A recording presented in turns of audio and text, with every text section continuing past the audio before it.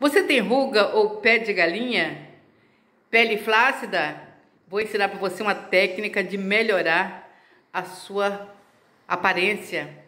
Ruga, pé de galinha, é igual cabelo. Se não pentear, fica todo embaraçado. Então vamos pentear. Eu vou começar a pentear aqui essas pele mole aqui do pescoço e esses esses, essas passadas aqui daqui, pessoal, vai deixar a pele vermelha, vai deixar assim ela arranhada.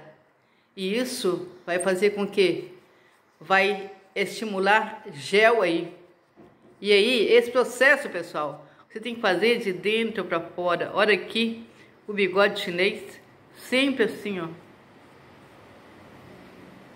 Aqui é para cima que você joga. Só é apenas uma amostragem. Aqui, olha, essa ruga forte aqui, ó. Então você vai fazendo isso. E depois que você fizer, sua pele com certeza vai ficar vermelhinha.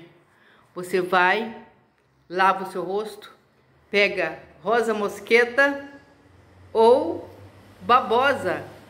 Essa babosa eu já estou fazendo uso dela. Deixa a babosa, se você pegar a babosa fresquinha, Aí você faz o seguinte, você deixa ela escorrer pelo menos umas duas horas para sair aquela coisa amarela que sai, né? Que é tóxica e pode dar problema de alergia na sua pele. Depois disso, você tira o gel, amassa e passa no seu rosto.